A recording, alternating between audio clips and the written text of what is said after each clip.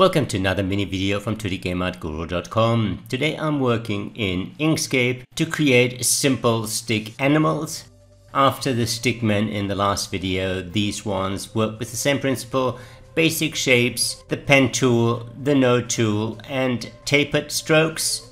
Let's start with the circle. To keep it a circle and not turn into ellipse, hold the control key while you scale your circle. I create a duplicate that will be the eye and another duplicate that I elongate for the body. I turn the head and the body into paths. That way I can use the node tool to turn the head into a beak shape and shape the body a little bit to have more of a chest and then a little bit of a tail. You might have noticed I like to use shapes rather than the pen tool to create new elements. I just find it a faster way to do it.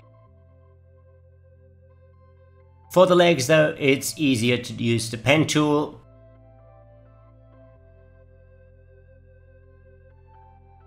I give it a thicker stroke and turn the caps to rounded.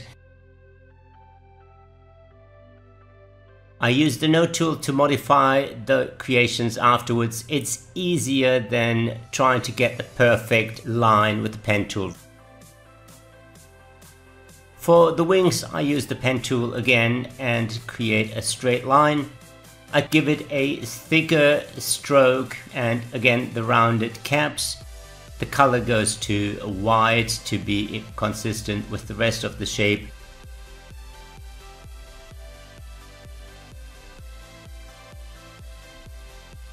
I curve that with the node tool, duplicate it and just move one of the nodes. That way I can quickly and easily create the wing.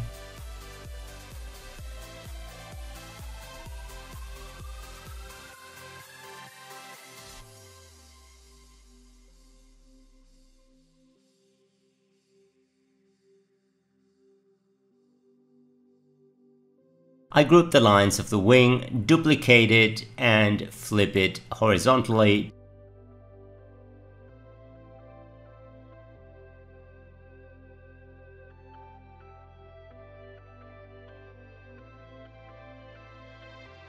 I bring the head and the eye back to the front using the page up key.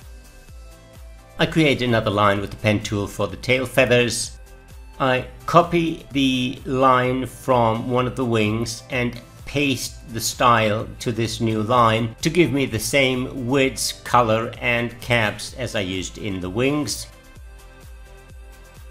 To shape the tail feathers I use the path effect taper stroke I can thinnen the line at either end. I have little pink control nodes that I can move along the length of the node to define how far the thinning goes.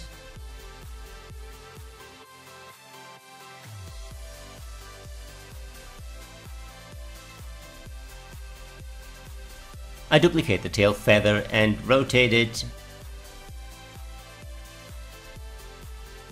Applying a path effect also overrides the stroke width. It's defined inside the path panel now rather than in the stroke panel.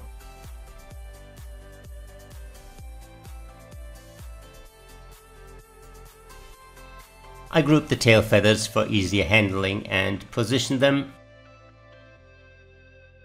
With all the elements in place, it's time to position them and pose the bird.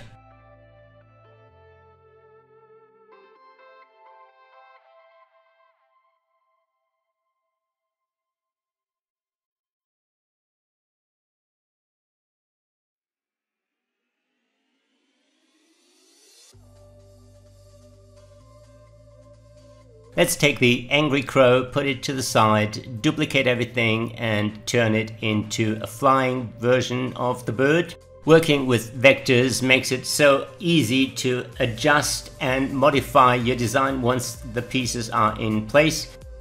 I reposition the head, flip the feathers, remove the legs and extend the tail feathers a little bit. Take a duplicate of the wings, place it behind and squash it a little bit. That's too much, a little less. There we go. And if I change the opacity of that part, we have the first flying pose of the crow.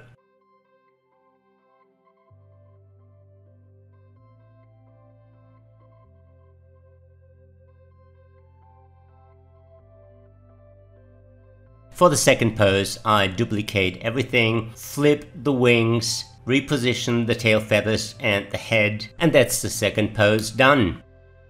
It is a lot of fun to play around with basic shapes, strokes, the pen tool, the node tool, and the tapered stroke. Give it a try, just keep things simple.